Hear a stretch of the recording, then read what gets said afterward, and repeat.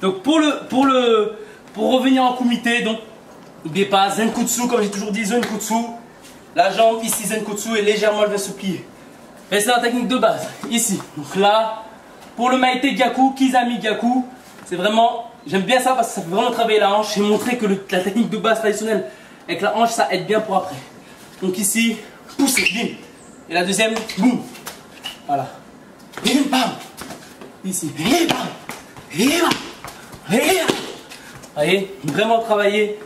Le premier, 1, et le deuxième, bim. Voyez, sur le Maïté Yaku. 1, 2. Venir.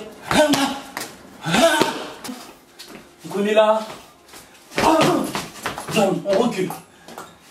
Je refais encore une fois, niveau Jodan, qui veut dire au niveau de la tête. Et après, au niveau du corps. Je refais. Et ensuite, Mawashi.